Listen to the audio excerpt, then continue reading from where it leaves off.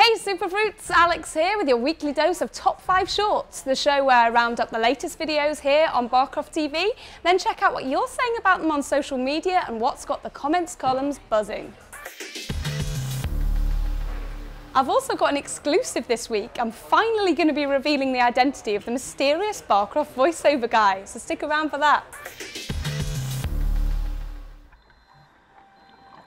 First up, jaws-dropping footage of the Shark Addicts, aka Randy Jordan and Cameron Nimmo. The pair use pliers to remove fishermen's hooks from the skin, noses and even mouths of sharks, flipping them upside down to put them in a kind of trance known as tonic immobility. So, top move to counteract a shark attack, flip it over like a pancake. Who knew? Loads of love over on YouTube for what the shark addicts are doing, where user Uncurable Kill says, just don't understand why people think sharks are so dangerous. I think an iconic film called Jaws might have had a little something to do with that.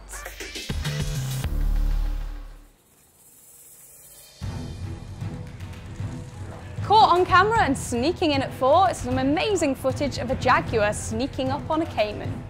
This particular big cat has demonstrated that he loves the taste of reptile before in a previous video that we shared that was watched by over 8 million YouTubers. How do we know it's the exact same jaguar? Well, if you look closely, you'll spot he's blind in his right eye and it's all pink and scarred. He's actually quite the top cat in his neighbourhood and really well known amongst locals in western Brazil.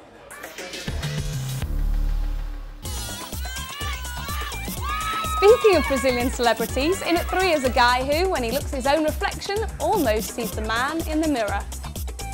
32-year-old Antonio Gleedson Rodrigues from Fortaleza in Brazil is a Michael Jackson impersonator who's had all sorts of surgery in an effort to look more like the king of pop. Arguments are kicking off all over the net as to how closely this guy actually resembles his idol and whether his moonwalk is convincing or not. Now personally, I'd like to hear him sing a whole Jacko song and I'll reserve my judgment until I know whether he's any good at bad.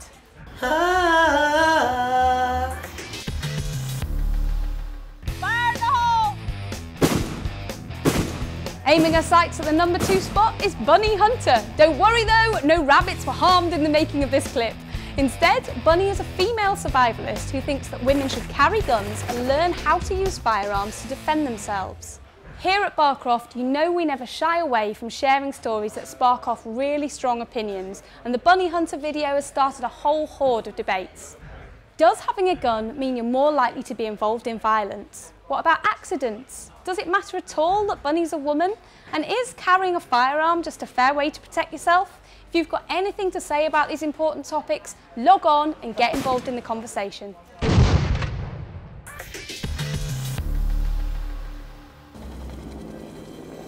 Soaring in at the number one spot this week, it's a video I love. It's the flying rhino. This shows a critically endangered black rhino being transported to a new territory in an attempt to expand the population.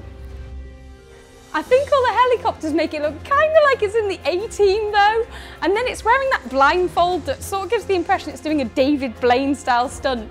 Plus it's so cute when it's all groggy.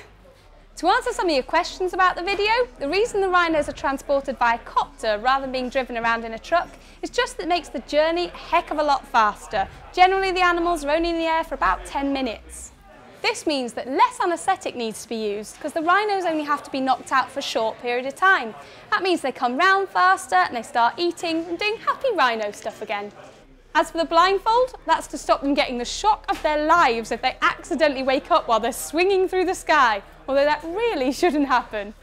That's this week's top five shorts sorted, but let's take a look at what's coming up. Get the whole picture on what's happening there next week. Now is my privilege to reveal the truth behind one of the biggest mysteries of Barcroft TV, the identity of our famous voiceover guy. Your guesses as to who it was in our thank you video absolutely poured in, but hardly any of you were right.